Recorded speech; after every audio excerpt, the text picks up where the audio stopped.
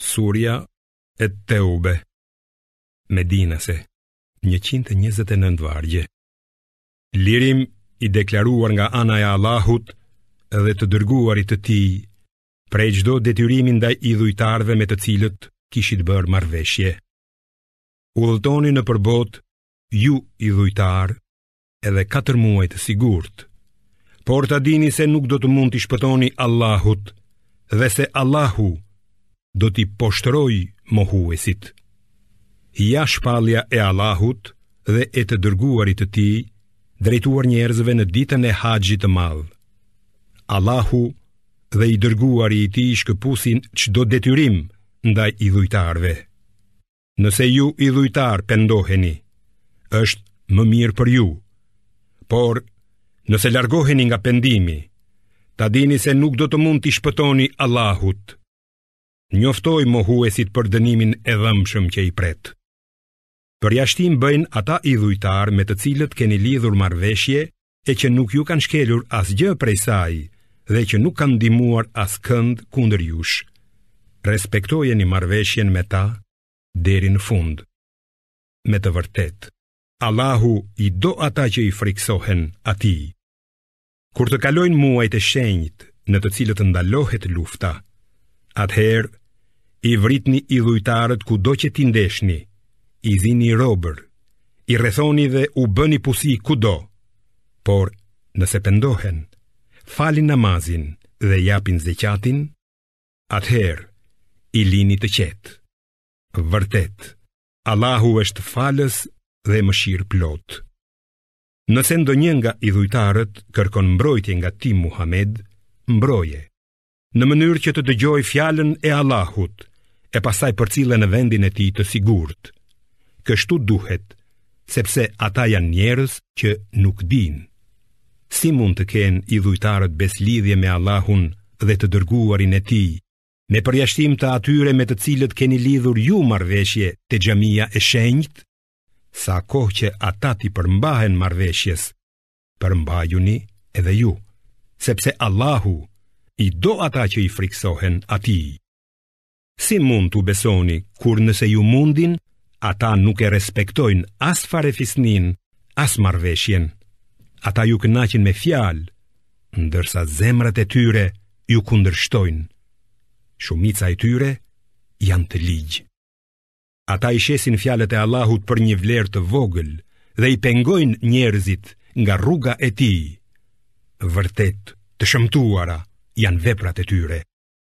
Ndaj besimtarëve, ata nuk respektojnë as farefisni, as besëlidhje. Këta janë tejkaluesit e kufirit në të këqija. Megjithatë, nëse ata pendohen, falin namazin, dhe japin zeqatin, atëherë janë vëllezërit tuaj në fe. Kështu ua shpjegojmë shpalljet njerëzve që dinë.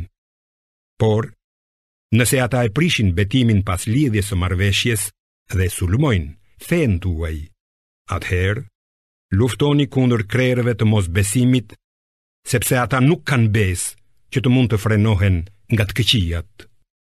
Vallë, A nuk do të luftoni kundër atyre që e kanë shkelur besëlidhjen, janë përpjekur ta dëbojnë të dërguarin dhe kanë filluar të parët t'ju sulmojnë? Vallë, nga ata keni frikë? Allahu e meriton më shumë se ata që t'i frikësoheni nëse jeni besimtarë. Luftoni kundër tyre që Allahu t'i dënojë ata me duart tuaja, t'i poshtërojë, t'ju ndihmojë juve kundër tyre, t'i shërojë shpirtrat e besimtarëve, dhe ta largojë hidhërimin nga zemrat e tyre.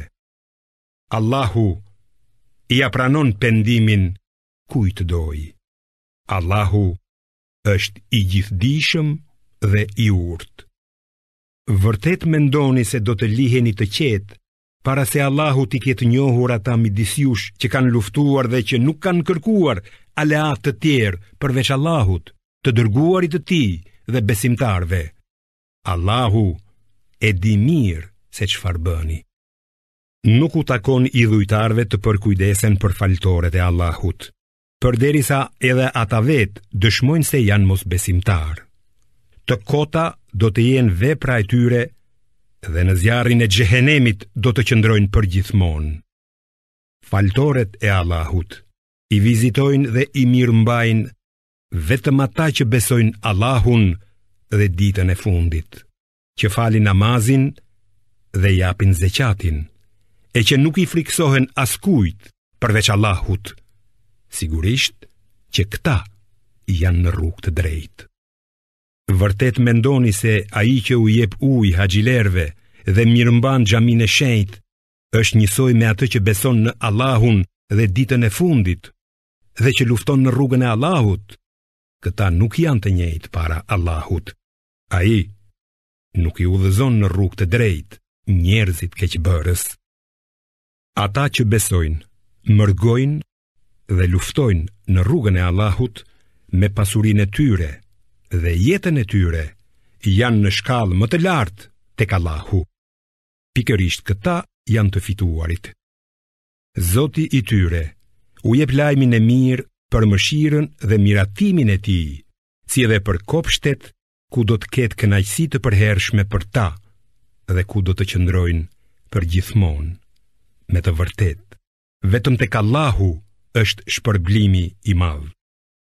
O besimtarë, mos i pranoni për mbrojtës baballarët dhe vëllezërit tuaj nëse ata e duan mosbesimin më shumë sesa besimin.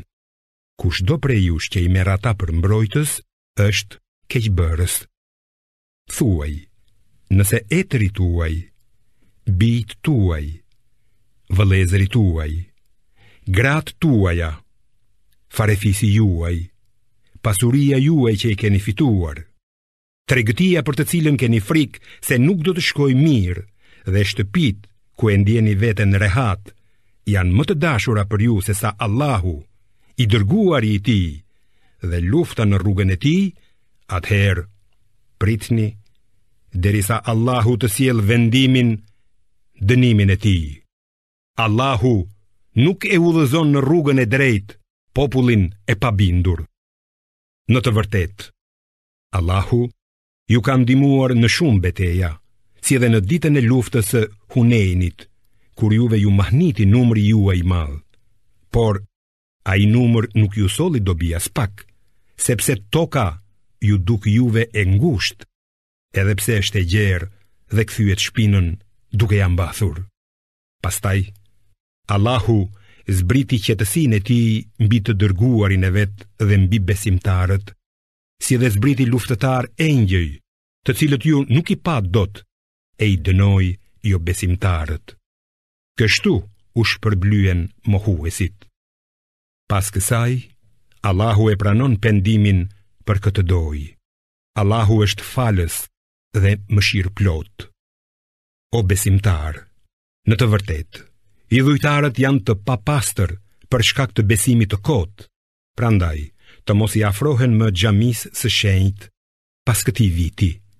Dhe mos kini frikë nga varfëria, sepse po deshi Allahu ju bën të pasur me dhuntitë e veta. Vërtet, Allahu është i gjithëdijshëm dhe i urtë. Luftojni ata që nuk besojnë në Allahun e as në ditën e kiametit. që nuk e marrin për të ndaluar atë që e ka ndaluar Allahu dhe i dërguari i tij, dhe ata, midis atyre që u është dhënë libri, që nuk e pranojnë fenë e vërtetë, derisa të japin xhizjen, taksën, me dorën e tyre, duke qenë të përulur. Hebrenjtë thonë, Uzejri është i biri i Allahut. të krishterët thonë, Mesihu është i biri i Allahut. Këto janë fjalët e tyre, nga goja e tyre. I imitojnë fjalët e jobesimtarëve të mëparshëm. I vraftë Allahu, si po shmangen nga e vërteta. Në vend të Allahut, ata kanë zgjedhur për zot rabinët dhe murgjit e tyre, si dhe Mesinë të birin e Merjemes, ndërkohë që janë urdhëruar të adhurojnë vetëm një zot, përveç të cilit nuk ka tjetër që meriton të adhurohet. I lartësuar qoftë ai mbi gjithçka që ia shoqërojnë në adhurim. Ata dëshirojnë ta fikin dritën, fenë e Allahut me gojën e tyre, por Allahu ka vendosur vetëm që ta përsosë dritën e vet, edhe sikur mohuesit ta urrejnë këtë gjë. Allahu është ai që e ka dërguar të dërguarin e tij me udhërrëfimin, Kur'anin dhe fenë e së vërtetës për ta lartësuar atë mbi të gjitha fetë, edhe sikur idhujtarët ta urrejnë këtë gjë. O besimtarë, në të vërtetë, shumë priftërinj dhe murgj përlajnë pasurinë e njerëzve pa të drejtë dhe i largojnë ata nga rruga e Allahut. ata që grumbullojnë ar dhe argjend dhe nuk e shpenzojnë për hir të Allahut, paralajmëroji me dënim të dhembshëm. Do të vijë dita kur thesaret e mbledhura do të digjen në zjarrin e xhehenemit dhe me to do të damkoset balli, anët dhe shpina e tyre e do t'u thuhet. Kjo është ajo që keni grumbulluar për veten. Pra, shijoni atë që grumbulluat. Vërtet, numri i muajve tek Allahu është 12, sipas librit të Allahut, që prej ditës kur krijoi qiejt dhe tokën. Katër prej tyre janë të shenjtë, sipas besimit të drejtë. Prandaj, mos i bëni vetes dëm, duke i shkelur këta muaj. Megjithatë, luftoni të gjithë kundër idhujtarëve, ashtu si luftojnë ata të gjithë kundër jush. Ta dini se Allahu është me ata që ruhen nga gjynahet. Vërtet, muaji shtesë është vetëm shtesë në mosbesim. Për shkak të tij, jobesimtarët shkojnë në humbje. Një vit e quajnë të lejueshëm e vitin tjetër të ndaluar për të plotësuar numrin e muajve që i ka ndaluar Allahu. Kështu, ata lejojnë atë që ka ndaluar Allahu. Atyre u duken të bukura veprat e tyre të shëmtuara. Allahu nuk i udhëzon në rrugë të drejtë njerëzit mosbesimtarë. O besimtarë, çfarë keni që ngurroni e mbërtheheni fort për toke kur ju thuhet dilni në luftë në rrugën e Allahut? A jeni të kënaqur me jetën e kësaj bote në vend të së amshueshmes? Kënaqësia e kësaj bote në krahasim me atë të botës tjetër është shumë e vogël. Nëse nuk shkoni në luftë, ai do t'ju ndëshkojë me dënim të dhembshëm dhe do t'ju zëvendësojë me një popull tjetër. Atij ju nuk do të mund t'i bëni dëm aspak, se Allahu është i fuqishëm për çdo gjë. Nëse ju nuk e ndihmoni atë Muhammedin, a.s. Allahu tashmë e ka ndihmuar ditën kur atë e dëbuan mohuesit vetë të dytin, kur ishin në shpellë, e ai i thoshte shokut të vet, Ebu Bekrit. Mos u mërzit, se Allahu është vërtet me ne. Atëherë, Allahu zbriti qetësinë e vet mbi të, e ndihmoi me një ushtri të padukshme engjëjsh dhe bëri që fjala e mosbesimtarëve të jetë më e poshtëruara, kurse fjala e Allahut të jetë më e lartësuara. Vërtet. Allahu është i plotfuqishëm dhe i urtë. Dilni në luftë, qofshi të shëndoshë ose të sëmur, dhe luftoni me pasurinë e jetën tuaj në rrugën e Allahut. Kjo është më mirë për ju, veç sikur ta dinit. Sikur fitorja të ishte e afërt dhe udhëtimi i shkurtër, Ata do të pasonin ty, por iu duk rrugë e largët. Dhe ata do të betohen në Allahun, sikur të kishim mundur, me siguri do të dilnim bashkë me ju. Dhe kështu, ata e shkatërrojnë vetveten. Allahu e di se ata janë gënjeshtarë. Allahu të faltë ty që u lejove atyre të mungojnë. para se ta kuptoje se kush thoshte të vërtetën dhe derisa t'i njihje gënjeshtarët. Nuk do të të kërkojnë leje për të mos luftuar me pasurinë dhe jetën e tyre, ata që besojnë në Allahun dhe ditën e kiametit. E Allahu, i di mirë ata që ruhen nga gjynahet. Ty, do të të kërkojnë leje vetëm ata që nuk besojnë në Allahun dhe ditën e kiametit, dhe që zemrat e tyre dyshojnë, ata luhaten në dyshimin e vet. Sikur ata të kishin dashur të dilnin me ty, do të ishin përgatitur, por Allahu nuk e pëlqeu vajtjen e tyre, prandaj i pengoi dhe atyre iu tha, rrini me ata. të paaftë për luftë që do të ulen në shtëpi. Sikur të kishin dalë me ju, ata do t'ju shtonin juve vetëm të keqe, do të shtinin ngatërresa midis jush dhe do të ngjallnin përçarje, sepse edhe ndër ju ka nga ata që ua vënë veshin, por Allahu i njeh mirë keqbërësit.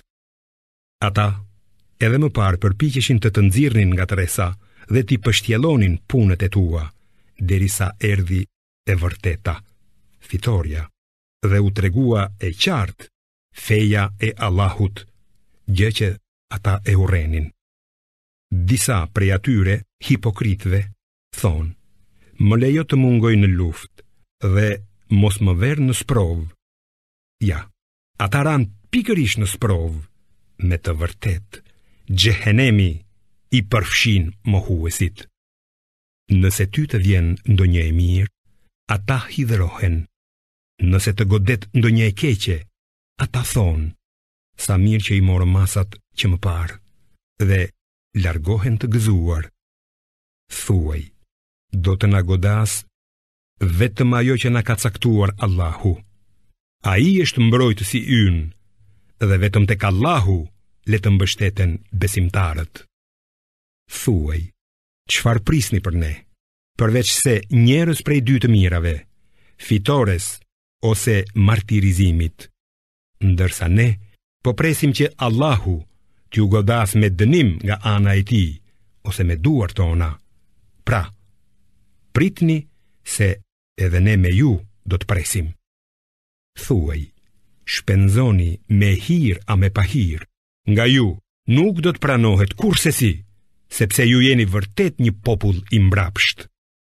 Ndihmesat e tyre nuk do të pranohen, ngase ata janë njerëz që nuk besojnë në Allahun dhe të dërguarin e tij. Namazit i afrohen vetëm në mënyrë të ngathët dhe nuk shpenzojnë nga pasuria, veçse në mënyrë përbuzëse. Mos u josh, o Muhamed, nga pasuria dhe fëmijët e tyre, sepse nëpërmjet tyre Allahu kërkon t'i ndëshkojë ata në këtë jetë, kështu që t'u dalë shpirti duke qenë jobesimtarë. Ata betohen për Allahun se janë në fenë tuaj, ndërkohë që nuk janë prej jush, por janë njerëz frikacakë për të treguar si janë në të vërtetë. sikur ata të gjenin ndonjë strehim, shpellë apo vend mbrojtjeje, do të niseshin atje me nxitim. Ka edhe të tillë që të qortojnë për shkak të ndarjes së lëmoshës. Nëse atyre u jepet ndonjë pjesë, ata kënaqen, por nëse nuk u jepet, përnjëherë zemërohen.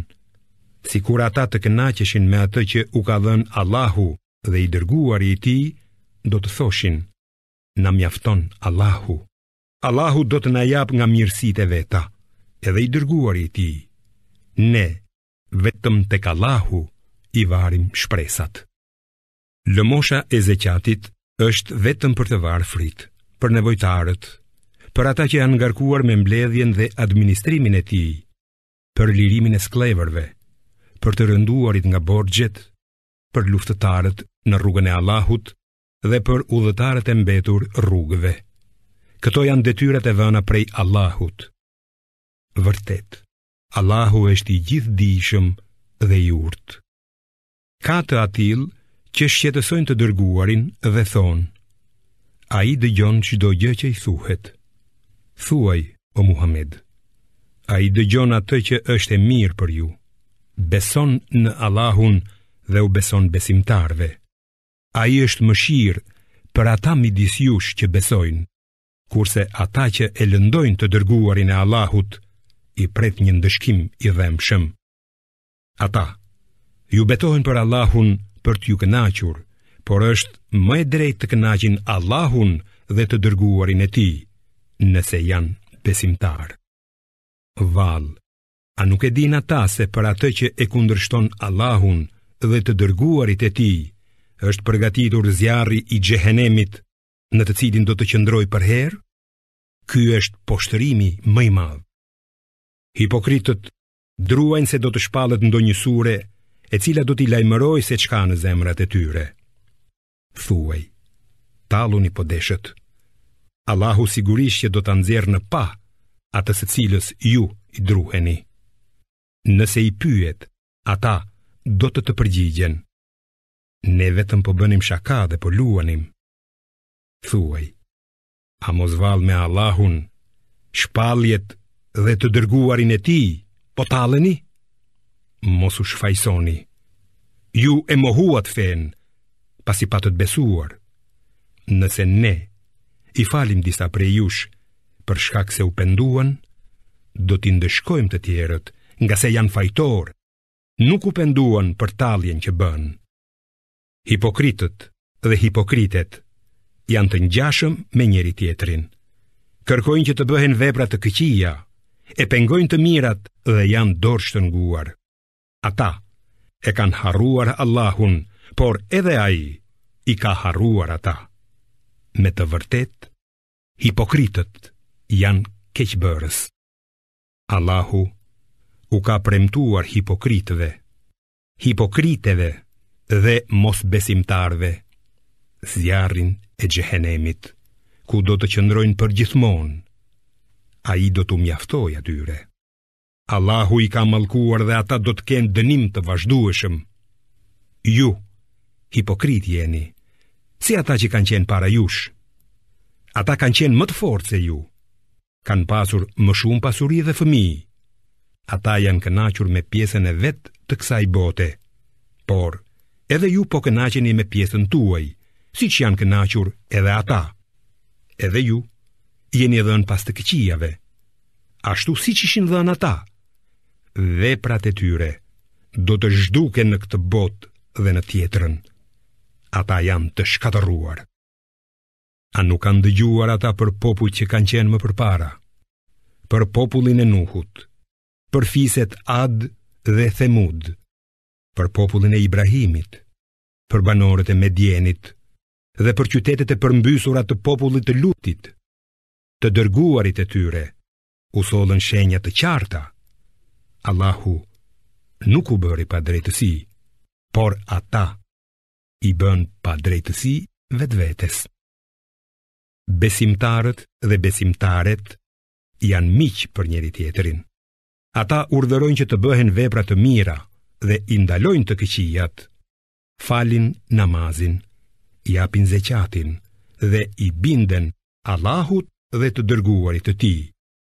Këta janë ata që do t'i mëshirojë Allahu. se Allahu me të vërtetë është i plotfuqishëm dhe i urtë.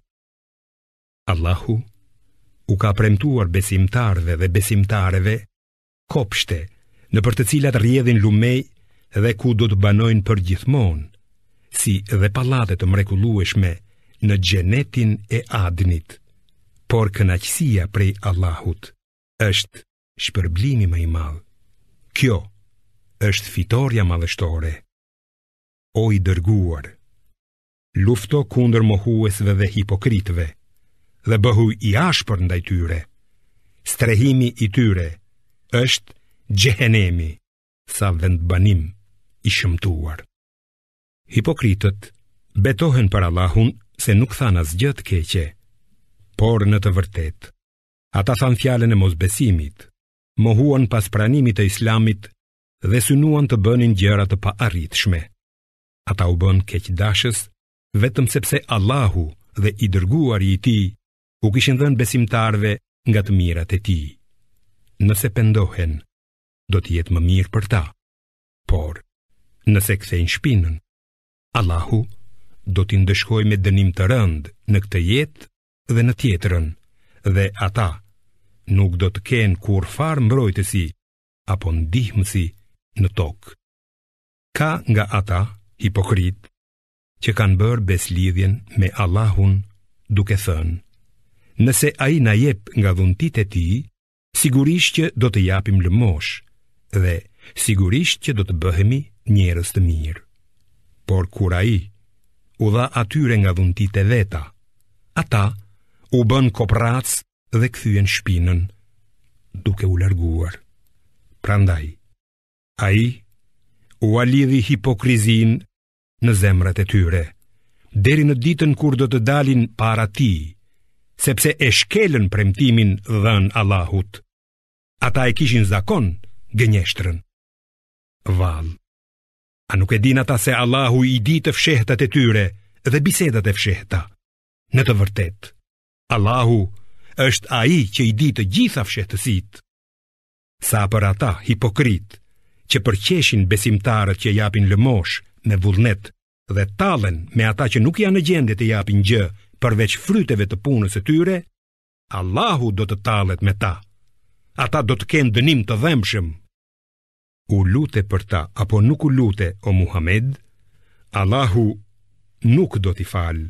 Edhe sikur ti të kërkosh falje për ta 70 herë, Kjo, sepse ata e mohuan Allahun dhe të dërguarin e tij.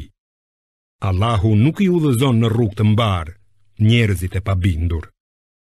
Ata që mbetën në shtëpitë e tyre pas daljes për luftë të të dërguarit të Allahut, u gëzuan. Nuk u pëlqente të luftonin në rrugën e Allahut me pasurinë dhe jetën e tyre dhe thanë: mos shkoni në luftë nëpër vapë. Thuaju, zjarri i xhehenemit është edhe më i nxehtë. Veç, sikur të kuptonin, le të qeshin pak në këtë botë, e të qajnë shumë në botën tjetër, si dënim për atë që kanë bërë.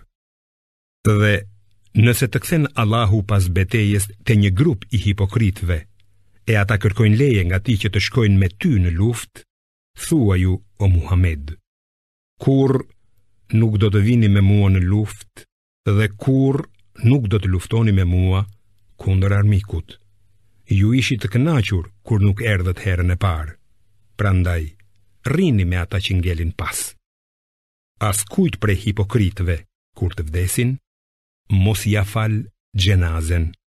As mos rri afër varrit të hipokritit, sepse ata e kanë mohuar Allahun dhe të dërguarin e tij dhe qëndruan të pabindur deri në vdekje.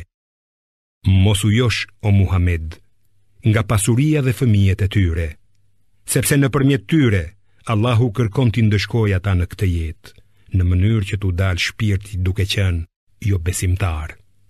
Dhe kur shpallet një sure që thotë, besoni Allahun dhe luftoni së bashku me të dërguarin e tij, pasanikët e tyre, hipokritëve, kërkojnë leje duke thënë, Na lini të rrimë me ata që nuk shkojnë në luftë Kënaqen të jenë me ata që nuk shkojnë në luftë Zemrat e tyre janë të vulosura E ata nuk kuptojnë Por i dërguari dhe ata që besojnë në të Luftojnë me pasurinë e tyre dhe jetën e tyre Për ata do të ketë çdo të mirë Dhe pikërisht ata do të jenë të shpëtuarit Allahu u ka përgatitur atyre kopshtet e xhenetit, nëpër të cilët rrjedhin lumej dhe ku do të banojnë përgjithmonë.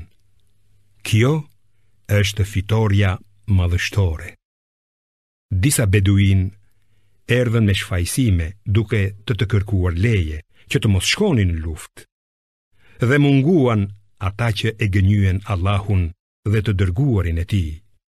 Ata, prej atyre që mohuan, me të vërtetë do t'i godas një dënim i dhembshëm. Nuk është gjynah të mos shkojnë në luftë të dobëtit, as të sëmurët, as ata që nuk mund të sigurojnë shpenzimet nëse janë të sinqertë me Allahun dhe të dërguarin e tij. Nuk ka vend për vërejtje ndaj punëmirëve. Allahu është falës dhe mëshirëplotë. Nuk ka gjynah as për ata të cilët kur vijnë te ti për të kërkuar kafshë shalimi, e ti u thua, unë nuk mund t'ju siguroj kafshë shalimi, kthehen me sytë e tyre që u rrjedhin lot, ngaqë nuk mundën të gjenin gjë për të dhënë në rrugë të Allahut. Por ka vend për t'u qortuar ata që kërkojnë leje nga ti, duke qenë të pasur. Ata kënaqen të rrinë me ata që nuk shkojnë në luftë. Allahu ua ka vulosur atyre zemrat, por ata nuk dinë. Kur të ktheheni tek ata, do t'ju vijnë duke u shfajësuar. Thuaju, mos kërkoni falje, sido që të jetë, ne nuk ju besojmë, sepse Allahu na ka lajmëruar për qëllimet tuaja. Me siguri Allahu dhe i dërguari i tij do t'i shohin veprat tuaja. Pastaj ju do të ktheheni tek ai, që i di gjërat e padukshme dhe të dukshme, e do t'ju lajmërojë për atë që keni bërë. Kur të ktheheni tek ata, do t'ju betohen për Allahun që t'i lini, largohuni prej tyre. Ata janë të ndyrë dhe strehimi i tyre është xhehenemi. Ky është dënimi për veprat e tyre. Ata do t'ju betohen që të jeni të kënaqur me ata. Nëse ju do të jeni të kënaqur me ata, dijeni se Allahu sigurisht që nuk është i kënaqur me popullin e pabindur. Beduinët janë mohuesit dhe hipokritët më të mëdhenj dhe më të prirët për të mos njohur kufijtë që Allahu ia ka shpallur të dërguarit të tij. Allahu është i gjithëdijshëm dhe i urtë. Ndër beduinët, ka të atillë që shpenzimin në rrugë të Allahut e quajnë si gjobë dhe presin që juve t'ju godasë ndonjë fatkeqësi. le t'i godasë ata radha e fatkeqësisë. Allahu dëgjon dhe di gjithçka. Po ka nga beduinët të atillë që besojnë Allahun dhe ditën e kiametit dhe shpenzimin në rrugë të Allahut e quajnë si mjet për t'iu afruar Allahut dhe për të merituar bekimin e të dërguarit. Dhe vërtet që kjo do t'u sjellë afrimin. Allahu do t'i pranojë ata në mëshirën e vet. Njëmend. Allahu është falës i madh dhe mëshirëplotë. Sa u përket besimtarëve të parë, prej muhaxhirëve dhe ensarëve, Allahu është i kënaqur me ata dhe me të gjithë të tjerët që i pasuan me vendosmëri e përkushtim në besim. Edhe ata janë të kënaqur me atë. Allahu ka përgatitur për ata kopshte nëpër të cilat rrjedhin lumenj dhe ku do të jetojnë përgjithmonë. Kjo është fitorja madhështore. Ka beduinë në mjedisin tuaj që janë hipokritë, por ka edhe ndër banorët e Medinës të atillë që janë këmbëngulës në hipokrizi. Ti, nuk i di ata. Ne i dimë, ne do t'i dënojmë dy herë, e pastaj do të kthehen në dënimin e madh, në xhehenem. Ndërkaq, disa të tjerë i pranojnë gjynahet e veta, se i kanë përzier veprat e mira me të këqijat. Ka gjasë që Allahu t'ua pranojë pendimin. Vërtet, Allahu është falës i madh dhe mëshirëplotë. Merr nga pasuria e tyre lëmoshë me të cilën t'i pastrosh ata dhe t'ua rritësh veprat e mira. Lutu për ta, sepse lutja jote është vërtet qetësim për ata. Allahu dëgjon dhe di gjithçka. A nuk e dinë ata se Allahu është ai që pranon pendimin dhe bamirësinë nga robërit e vet dhe se ai është pranuesi i pendimeve dhe mëshirëploti. Thuaj, punoni, se Allahu, i dërguari i tij dhe besimtarët, do të shohin punën tuaj. së shpejti do të ktheheni tek ai që di të dukshmen dhe të padukshmen, e ai do t'ju njoftojë për atë që keni bërë. Ka edhe të tjerë që janë lënë në pritje të vendimit të Allahut, a do t'i dënojë apo do t'ua pranojë pendimin. Allahu është i gjithëdijshëm dhe i urtë.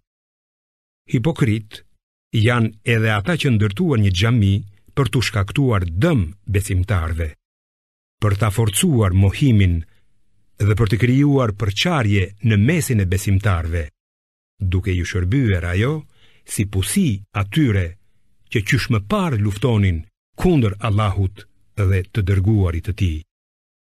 Dhe vërtet, ata betohen Ne kishim për qëllim që të bënim vetëm një vepër të mirë, por Allahu dëshmon se në të vërtetë, ata janë gënjeshtarë. Ti, në atë xhami, kurrë mos fal namaz, ndërsa xhamia e themeluar në përkushtim ndaj Allahut që në ditën e parë, pa dyshim që është më e denjë për të falur namaz në të. Aty ka njerëz që duan të pastrohen. Allahu i do ata që pastrohen shpesh. Cili është më i mirë? Ai që themelet e godinës së vet i vë në përkushtimin ndaj Allahut dhe në kënaqësinë e tij, apo ai që themelet e godinës së tij i vë në bregun e gërryer dhe që rrokulliset me të në zjarrin e xhehenemit. Allahu nuk e udhëzon në rrugë të drejtë popullin keqbërës. Godina që ata ndërtuan mbjell gjithnjë dyshim në zemrat e tyre, derisa zemrat e tyre t'u copëtohen. Allahu është i gjithëdijshëm, i urtë. Në të vërtetë, Allahu ka blerë nga besimtarët jetën dhe pasurinë e tyre në këmbim të xhenetit. Ata luftojnë në rrugën e Allahut, vrasin dhe vriten. Ky është premtimi i tij i vërtetë në Teurat, Ungjill dhe Kur'an. E kush i përmbahet besëlidhjes më fort se Allahu? Andaj, gëzojuni kësaj shitjeje. Kjo është fitorja madhështore.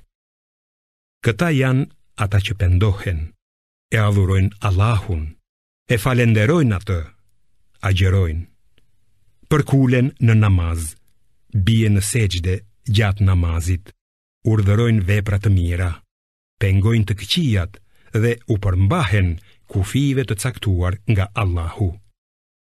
Jepu lajmin e mirë besimtarëve.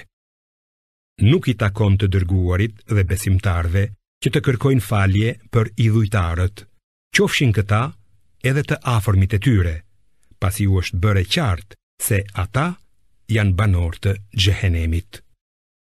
Ndërsa lutja e Ibrahimit për faljen e babait të tij ka qenë vetëm për shkak të një premtimi që i kishte bërë, por Kur iu bë e qartë se i ati ishte armik i Allahut, ai u nda prej tij. E megjithatë, Ibrahimi ishte njeri i dhembshur dhe i butë. Allahu kurrë nuk e çon në humbje një popull që më parë e ka udhëzuar në rrugë të drejtë, pa ia bërë të njohur se prej çfarë duhet të ruhet, me të vërtetë, Allahu është i dijshëm për çdo gjë. Njëmend, Allahut i takon sundimi i qiejve dhe i tokës. Ai e jep jetën dhe vdekjen. Përveç Allahut, ju nuk keni tjetër mbrojtës apo përkrahës. Pa dyshim, Allahu e pranoi pendimin e të dërguarit, të muhaxhirëve dhe të ensarëve, të cilët shkuan pas atij në çastin e vështirë, pasi zemrat e disave prej tyre për një fije qenë afër shmangies nga detyra. Pastaj Allahu pranoi pendimin e tyre. Vërtet, ai është i butë dhe i mëshirshëm me ta. Ai ua pranoi pendimin edhe atyre të treve që mbetën prapa atëherë, kur toka, sado e gjerë, iu duk e ngushtë dhe iu shtrënguan shpirtrat, aq sa u bindën se nuk ka strehim tjetër përveç Allahut. E pastaj Allahu u dha mëshirë që të pendohen me të vërtetë. Allahu pranon pendimin dhe është mëshirëplotë. O besimtarë, frikësojuni Allahut dhe bëhuni me ata që janë të sinqertë në fjalë dhe në vepra. Banorëve të Medinës dhe beduinëve që janë rreth saj, nuk u lejohet të mos ndjekin të dërguarin e Allahut, as të kursejnë jetën e tyre para jetës së tij. Kjo është kështu sepse ata që janë në rrugën e Allahut, sa herë që t'i godasë etja, lodhja e uria, dhe sa herë që të shkelin në ndonjë vend ku do t'i zemërojnë mohuesit, apo t'i gjejë gjë nga ana e armikut, atyre do t'u shkruhet si vepër e mirë. Me të vërtetë, Allahu nuk do t'ua humbë shpërblimin punëmirëve. Gjithashtu, sa herë që ata të shpenzojnë diçka të vogël a të madhe, apo të kapërcejnë çfarëdo lugine në rrugë të Allahut, kjo do t'u shënohet në mënyrë që Allahu t'i shpërblejë sipas veprave më të mira që kanë bërë. Nuk është mirë që besimtarët të shkojnë në luftë të gjithë njëherësh, por prej çdo bashkësie një grup të mbetet mbrapa, që të thellohet në mësimin e fesë dhe kështu të këshillojë popullin e vet, mbasi të kthehet nga lufta që t'i frikësohet Allahut. O besimtarë, luftoni kundër mohuesve që gjenden afër jush, dhe le ta ndiejnë ata ashpërsinë tuaj. Dhe ta dini se Allahu është me ata që ruhen nga gjunahet. Kur shpallet ndonjë sure, disa prej atyre që kanë dyshim dhe hipokrizi thonë, kujt prej jush do t'ia shtojë besimin kjo sure, për sa u përket besimtarëve, atyre kjo sure ua shton besimin dhe ata gëzohen. E sa u përket atyre që kanë sëmundje në zemrat e veta, ajo ua shton edhe më dyshimin që kanë dhe ata vdesin si mohues. Vallë, a nuk e shohin ata se çdo vit vihen në provë një ose dy herë, e prapëseprapë, as nuk pendohen, as nuk e mbledhin mendjen. Kur shpallet ndonjë sure që u tërheq vërejtje, ata shikojnë njëri-tjetrin duke thënë, apo ju sheh ndokush, pastaj largohen. Allahu i shmang zemrat e tyre, sepse ata janë njerëz që nuk kuptojnë.